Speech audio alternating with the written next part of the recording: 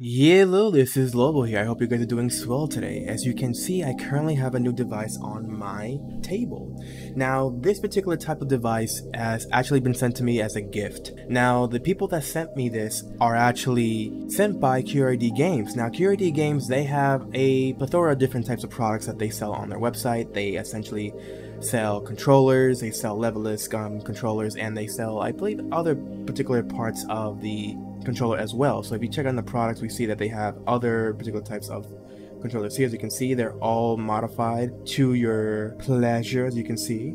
But the one that we currently have right now is the QRD Maestro S3 wireless leverless controller. Now, it is pricey for what it is basically entailing here on the website, but for the key functions that it currently has right now, this particular controller has basically everything that you may need for somebody who is trying to get into using a lever action type of controller. So for what this beauty is basically showcased here, I'm going to explain a couple of things of what the key features of this particular device holds. Now for one, as you see, it has beautiful LED lights. And you can change the LED lights to your pleasure. I keep saying pleasure because I don't know how to have a larger vocabulary. Yeah, okay, either way. So you can hold these two buttons that are right here. You can't really see them because I don't have lighting.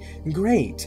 But you can see that I, there's actually an L3 and an R3 buttons on each side. One on my left is the L3 and on my right it is the R3. Now on video, it may be looking like I'm using my left hand, but no, this is my right. So either way, by holding these two buttons together, you can change the actual LED lighting.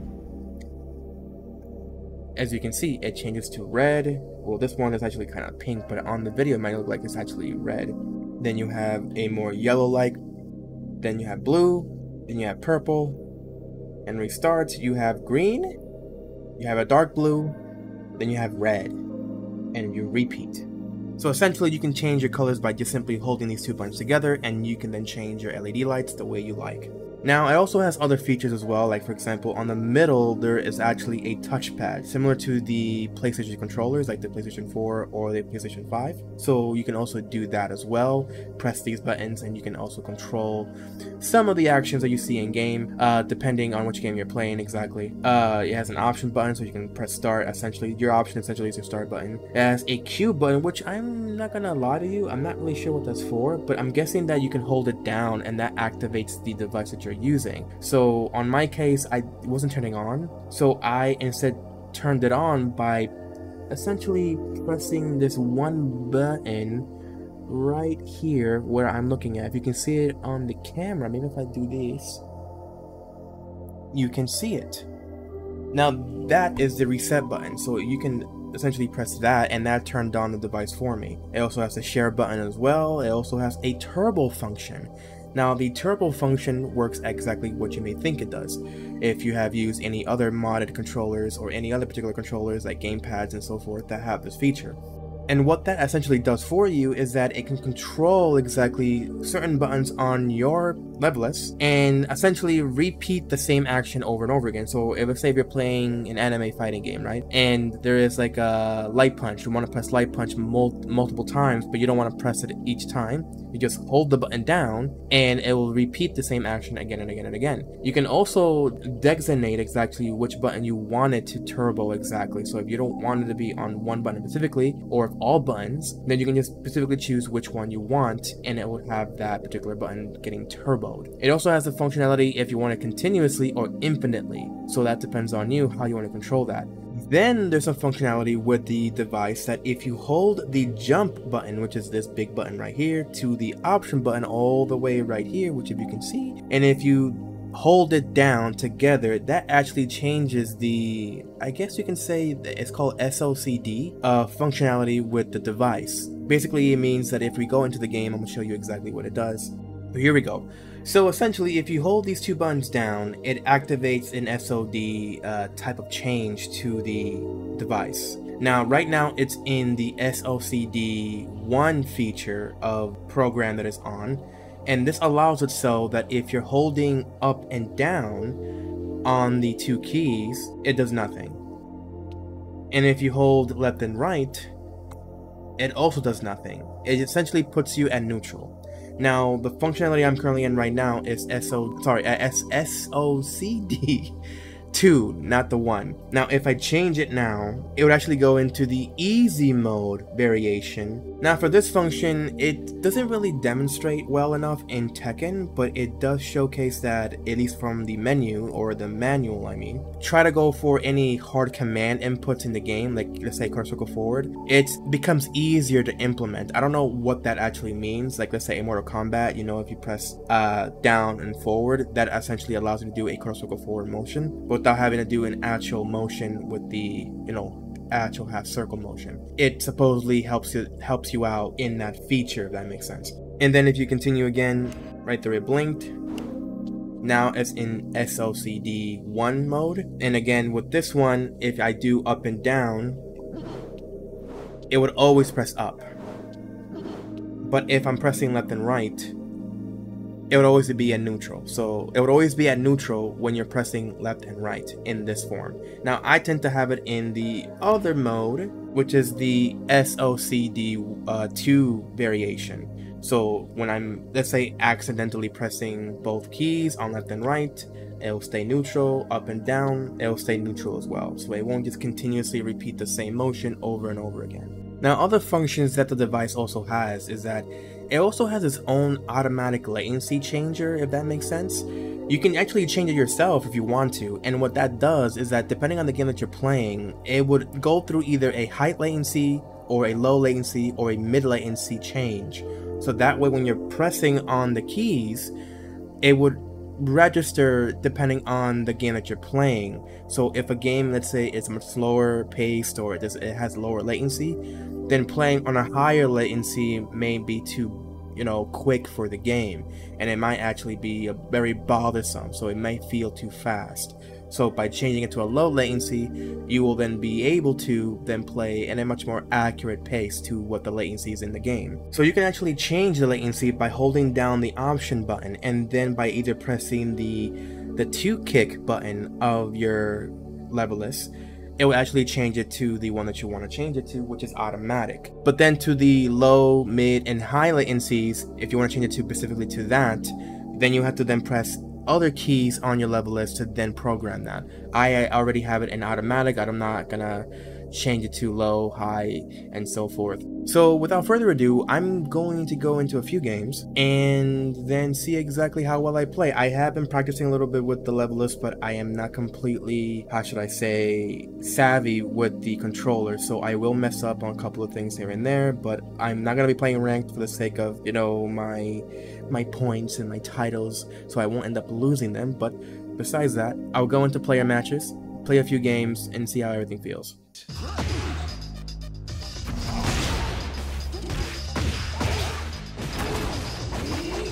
I tried doing. Do it again. Yeah, need to work on holding up.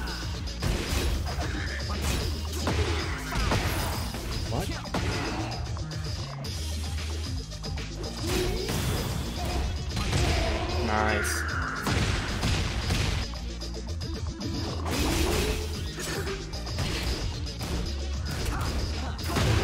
Then I go for the high one.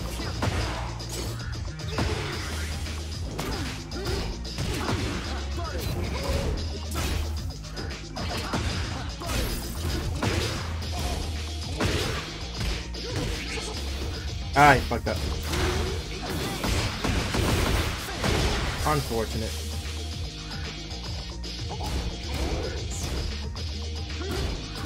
Nice block.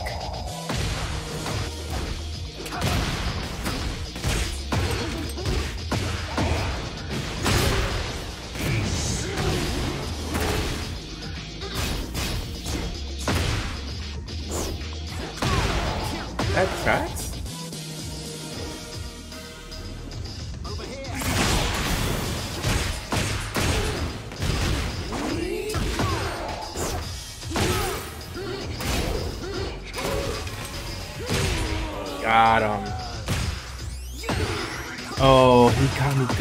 Launched me. I tried to see that he's gonna go for a lower now.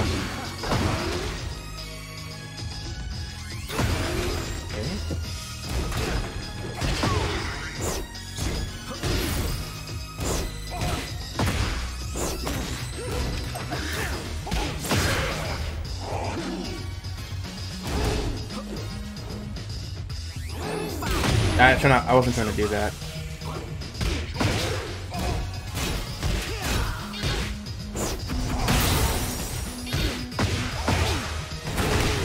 There we go.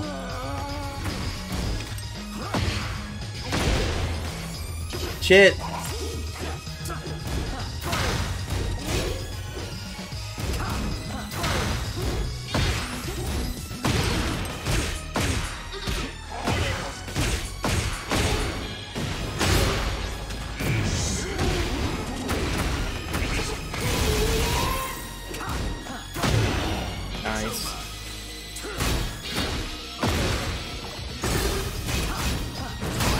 Oh, he goes that.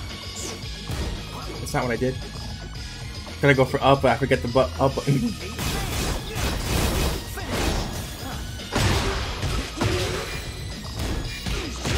Got him!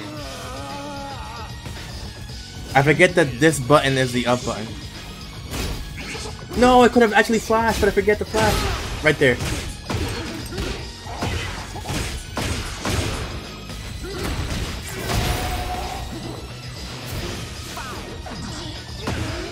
I forget the... This is the button! This is the button, not the other button!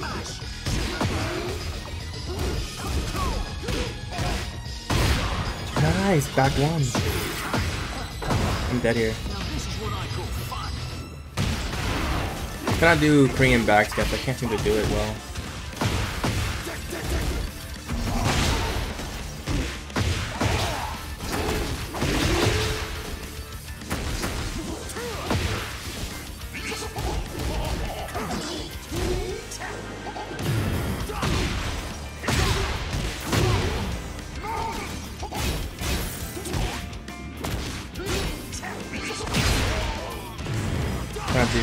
CD2? Well, okay. I'm gonna do it again, but I didn't get it. I'm not getting it.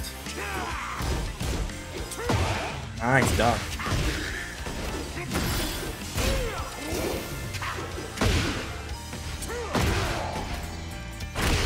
What?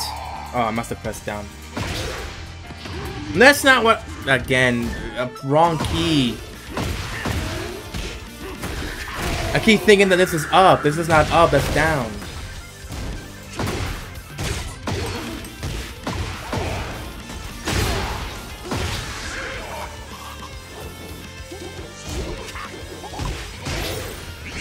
I forget.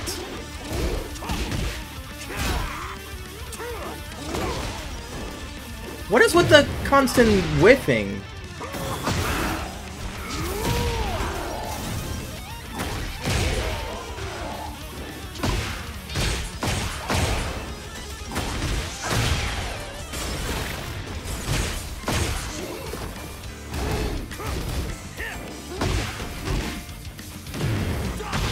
Yeah, I didn't even do that. I didn't even mean to do that.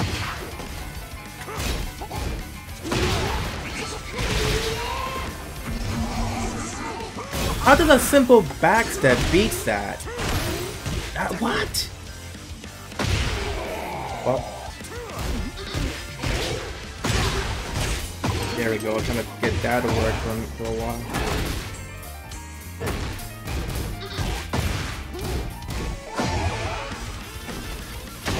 How does that not actually give me...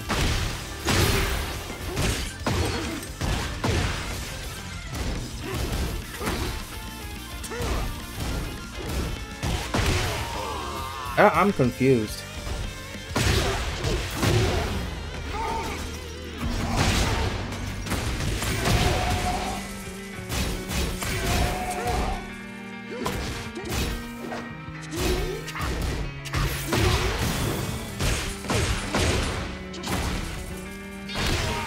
I messed up the combo, but I got it.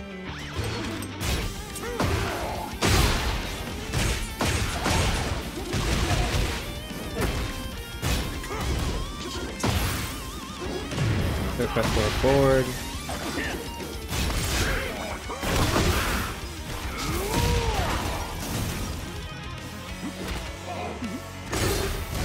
Uh, wrong button.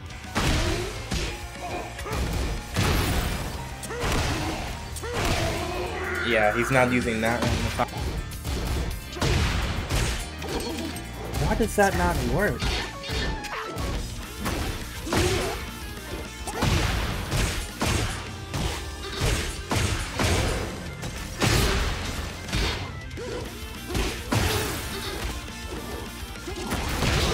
I am trying to go for again. I keep forgetting. This is not the up button. Oh my god!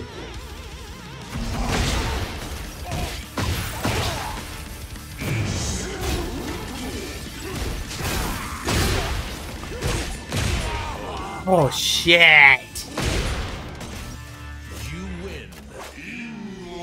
I didn't think you can flash that. I guess he was close enough because I was towards the wall. That's probably why.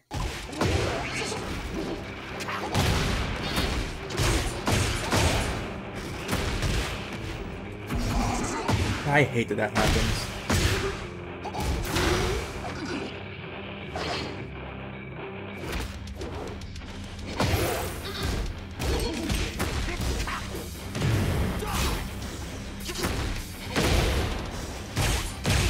Don't even know how I even did that. I keep forgetting.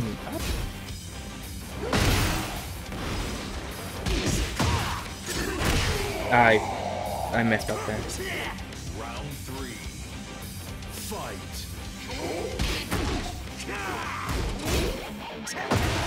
He still caught me? You saw how where he was facing too, right? And I still got hit by that.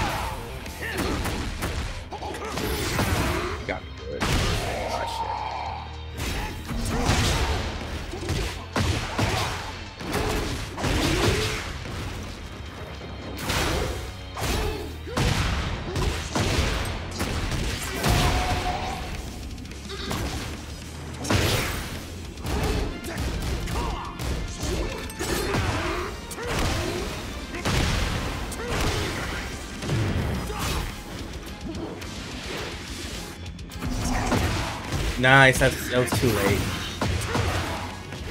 Too slow for me to do that. That combos? I thought he messed it up by pressing 4. It's not what I tried doing.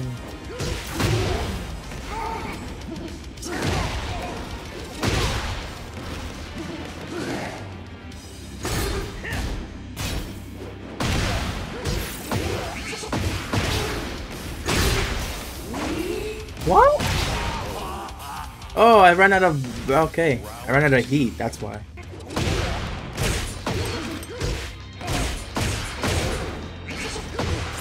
I hate that that whiffs.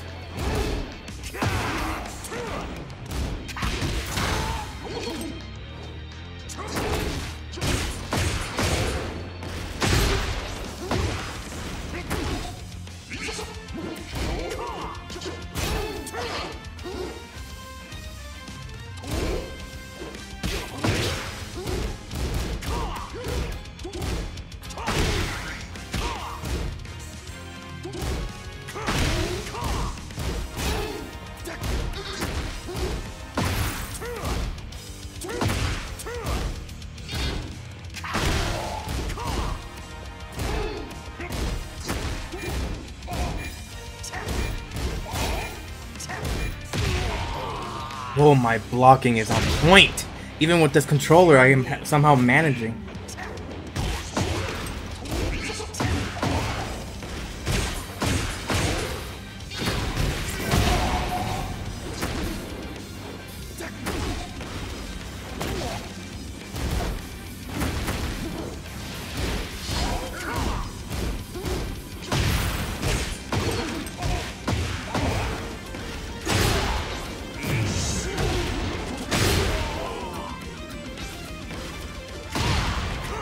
He did it two times. Oh, I guess I did down forward two two times. That's probably why.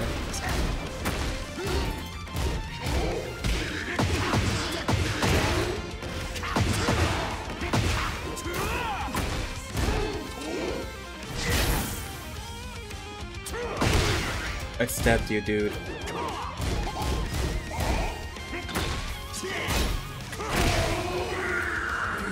I definitely stepped him too, that's the funny part.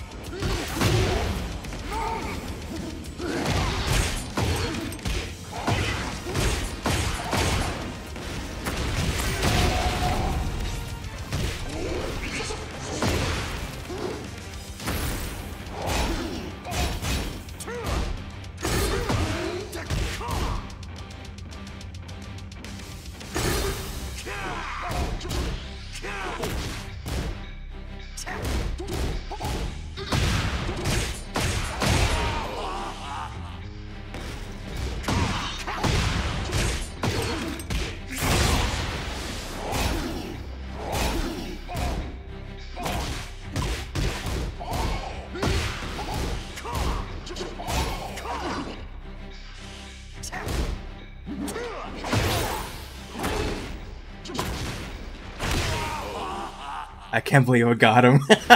I got him good, dude. I was trying to go for the command grab, but I, I was having a hard time doing it. Because I'm pressing... I think I'm pressing the right keys, but uh, I'm not pressing them simultaneously quickly enough, I guess?